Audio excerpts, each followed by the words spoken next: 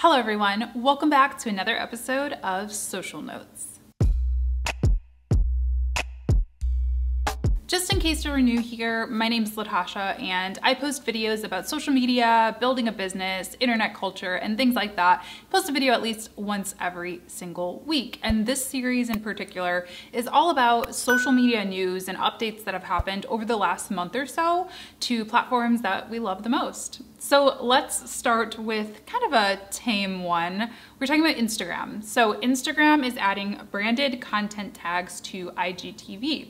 Now, I've talked a lot about IGTV in this series since it is kind of an emerging feature of Instagram, and it has seen growth in viewership over the past few months, especially since they started rolling out the preview to feed options. I know that's really encouraged me to use IGTV a lot more, and I've seen a lot more success with it. So they are taking things to the next level and they're really trying to encourage brand partnerships on IGTV by adding branded content tagging capabilities to the platform. So if you already have the branded content feature, you'll be able to tag brands that you're partnering with in your IGTV videos. Now I think this is a great move and just something interesting to keep in mind whether you're an influencer or you are a social media manager, freelancer, influencer manager, that kind of thing, who is looking to build connections with influencers because it's just getting more eyes on your content. There was no way to do this before. Previously, you would have to click into the kind of description box of IGTV and link something, but now you'll be able to have a nice little tag that allows you to click over to the sponsors stuff. Now, similar to Instagram, I think we talked about this a few weeks ago, but but Facebook is going to start testing hiding likes on the platform. So they're rolling out the first series of tests in Australia, so we'll have to stay tuned to them to see how they like it and how it's working. But essentially they're gonna just be gathering some feedback about whether or not people still are encouraged to like content when the likes are hidden. And what Jimmy Ramo, a Facebook spokesman said is that the site wanted to be a place where people felt comfortable expressing themselves. So again, I think that Facebook, their whole shtick, their whole business model is that they want people to have fun on the platform and want to spend large amounts of time on the platform. When people feel happy, when people feel like they're surrounded by friends and building community, they stay on the platform, which in turn earns them more money. So that's what this is really all about. And I'm really curious to know what you guys think about likes on Instagram or on Facebook. Do you guys care that you can't see likes or is that something that's important to you? I think that likes have definitely become some type of social currency in our culture and I'm still kind of torn on whether or not I think that this is a good idea or not. So YouTube, let's talk about YouTube. This is a little bit controversial and let me know if you would like me to do a full video on this because I have a lot of opinions and I do think that they're a little bit unpopular. So I'm a little scared to do it, but let me know if you'd like to see a full video.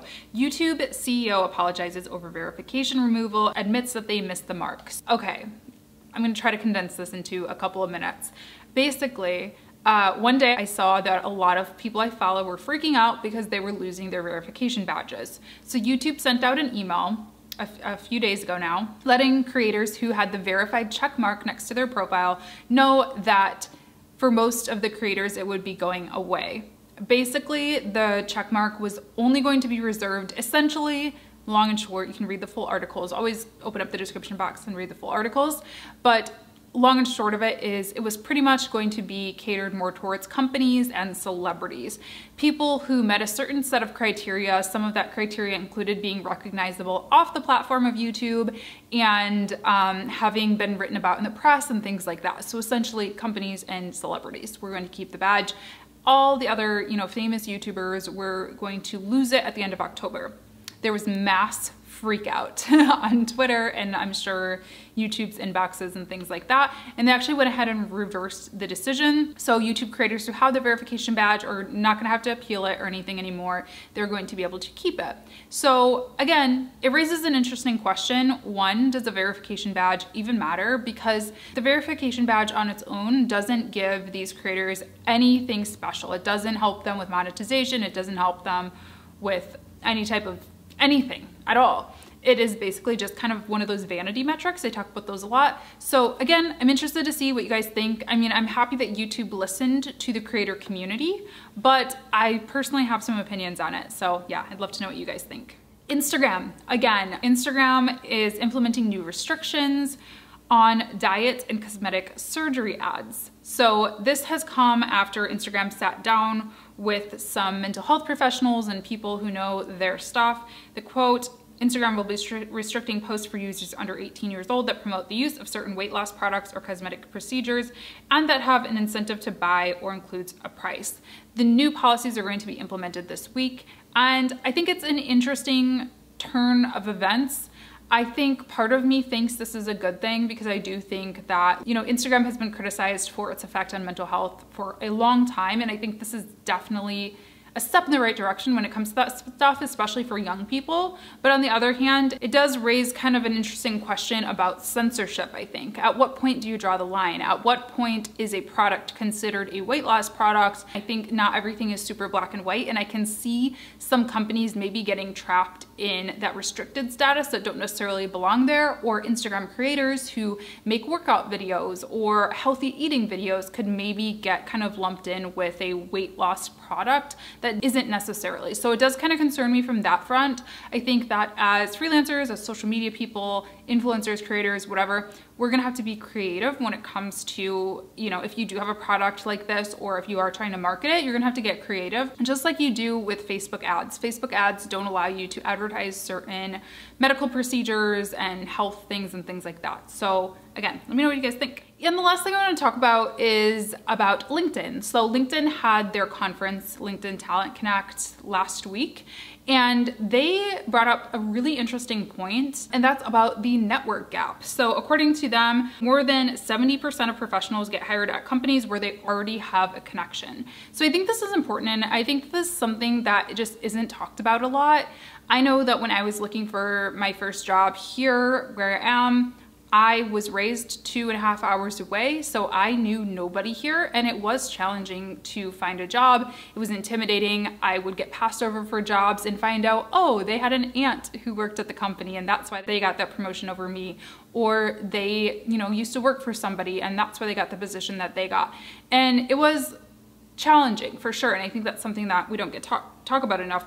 LinkedIn says that networks matter a lot, but like opportunity, they're not distributed equally and are built over time. There are three key factors that contribute where you grow up, where you go to school, and where you work. So um, basically, they are asking their community to take what they're calling the plus one pledge and intentionally share their time, talent, and connections with someone outside of their network. And they're starting this whole hashtag campaign so you can follow along, see what people are doing to get outside of their network when they're looking to recruit talent.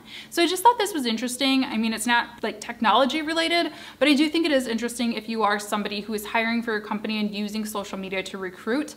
I think it's really easy to just you know, go to your connections and start posting things, but it is important to get into other communities, and I think that this will help close a lot of gaps. So that's it for this episode of Social Notes. I hope you enjoyed it. Let me know in the comments down below what you thought of some of these stories, what surprised you, what interested you, what you're excited about, and of course, make sure to click the subscribe button and also ring that bell icon that will let you know every time that I post a new video so you won't miss a thing. I'll see you in the next one, and Thank you to my patrons for making these videos possible as well. I'll have my Patreon link down below if you would like to join us over there. Bye.